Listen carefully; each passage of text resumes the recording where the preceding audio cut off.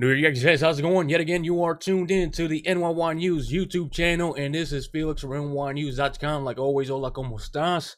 Yankees fans, let's talk about the recent news that is out there that Bryce Harper is really not on the Yankees' radar. That is fake news being pushed out by, let's say, SNY writers. I do not believe that.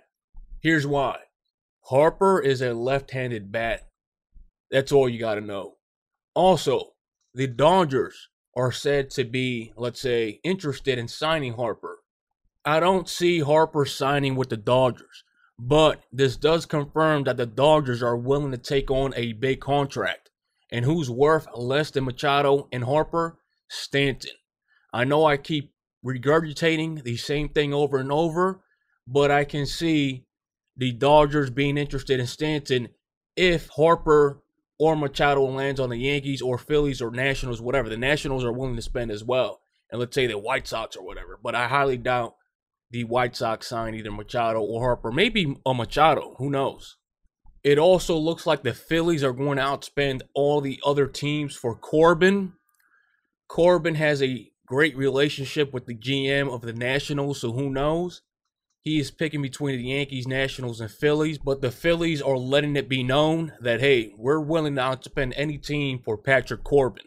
Also, there's been word that Sonny Gray is going to be moved soon. The favorite team to land them is the Brewers, but who knows, he might wind up on the Reds, or maybe a team like the Athletics. I mean, the Athletics, in my honest opinion, are really stupid if they do not, let's say, upgrade their rotation when they came off a season where they won 95 games.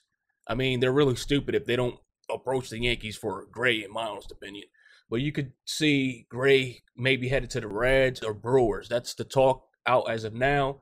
To be honest with you folks, I prefer a team with Gary Sanchez, Realmuto, and Harper. That would be my dream team. And the Yankees are about to get a haul for Gray, and they might get a haul for Stanton prospect-wise. So you can't count out the Yankees making a trade for Realmuto. Brian Cashman confirmed yet again that he's not trading Gary Sanchez, confirming what I said. Jon Heyman threw out the idea that the Yankees are shopping Gary for uh, Realmuto. I called it. I said, hey, that's just dumb. But what I can see is that the Yankees would prefer a catcher like Realmuto having pitchers like Paxton, Severino, even the bullpen guys having a reliable catcher behind the plate because obviously the Yankees are going to upgrade their starting rotation this up and coming season. So Gary Sanchez is going to have a hard time.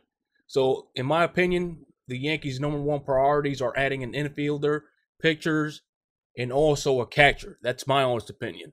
So, before I end this video, I would like to give a special shout out to my nephew, Tyler Nunez, who just turned 11, who is a big fan of the New York Yankees and NYYNews.com he is deserving of this shout out because over the weekend he hit an absolute monster shot, a three run blast. He is batting 407 for the season, and over the weekend he had over five RBIs. Check out the power on my nephew. I mean, great form. Check it out.